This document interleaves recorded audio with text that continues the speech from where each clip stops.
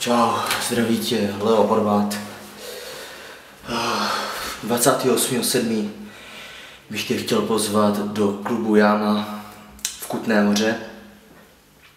Já jdu teďka taky do jámy na chviličku se schladit, protože tady Eliška mě nahlásila,